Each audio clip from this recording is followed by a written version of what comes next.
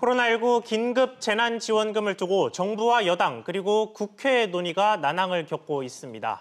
긴급 지원금이 맞느냐, 또 언제까지 지원금 논의만 할 거냐 비판의 목소리가 높은데요. 뭐가 문제인지 또 도대체 언제쯤 받을 수 있는 건지 취재 기자와 이야기 나눠보겠습니다. 정윤형 기자 나왔습니다. 정 기자, 어제 오후에 예정대로 이 정세균 국무총리가 이 정부의 2차 추경안 국회 제출에 따른 시정 연설을 했죠. 네, 정세균 국무총리는 국회 본회의에서 추경안을 조속한 처리를 당부했는데요. 지급 대상 하위 70%인 정부 원안을 재확인하고 양해를 구했습니다.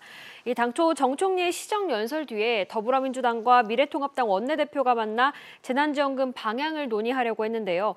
미래통합당이 아직까지 선거 참패로 인한 당 수습을 하지 못해 결국 만나지 못했습니다. 있습니다. 네, 뭐 여당은 전 국민을 대상으로 지급하자라는 의견을 계속 고수를 하고 있는 거고 야당과는 조율이 좀 되고 있는 겁니까? 네, 일단 민주당은 총선 때 공약했던 것처럼 이 전 국민 지급을 주장하고 있는 상황인데요. 이 추가 재원 조달 방안으로는 이 국채 발행 등을 생각하고 있습니다.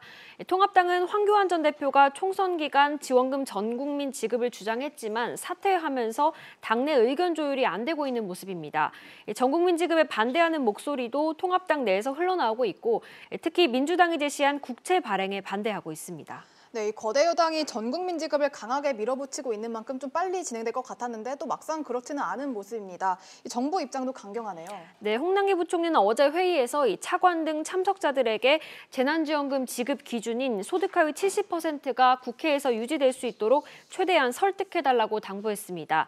예, 또 최악의 상황을 대비해 재정 여력을 남겨놔야 한다는 점도 강조했는데요. 이 기재부는 적자 국채 발행에 따른 재정 건전성 악화를 우려하고 있습니다. 나라 국간 사정이 빠르게 안 좋아지고 있는 것을 고려한 겁니다. 실제 한국의 국내 총 생산 대비 국가 채무 비율은 2018년 35.9% 수준이었는데요.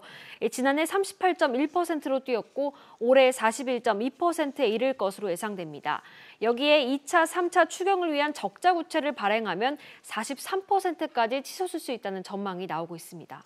네, 말하자면 뭐 정부와 국회 또 국회 내에서도 여당 야당이 좀 평행선을 달리고 있는 셈인데 앞으로 전망은 좀 어떻게 나오고 있습니까? 네, 일단 국가재정법에 따르면 국회가 예산안 규모를 증액하려면 이 기재부 동의가 있어야 하는데요.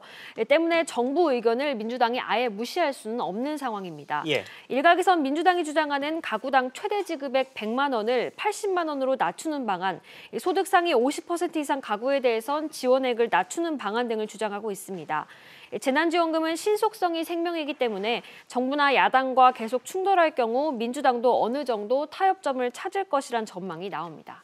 네, 정 기자 잘 들었습니다.